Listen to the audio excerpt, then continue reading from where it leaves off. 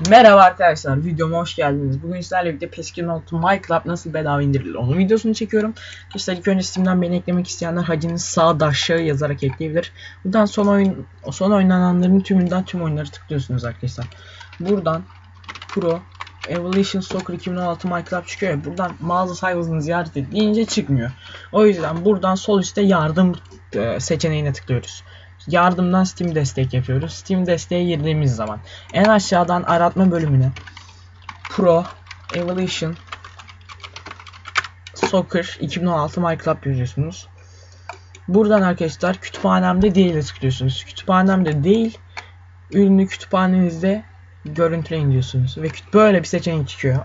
Geri basıyoruz arkadaşlar. Sol tarafta geri olan yerine. Hemen Pro Evolution Soccer'ı yükle diye bir bağlantı var. Buna tıkladığımızda ileri yapıyoruz. Bekliyoruz. Şu yerel dosyalar oluşturulduktan sonra yavaş yavaş yüklenmeye başlayacaktır arkadaşlar. Beni izlediğiniz için teşekkür ederim. Hepinizi çok seviyorum. Hoşçakalın. Bay bay.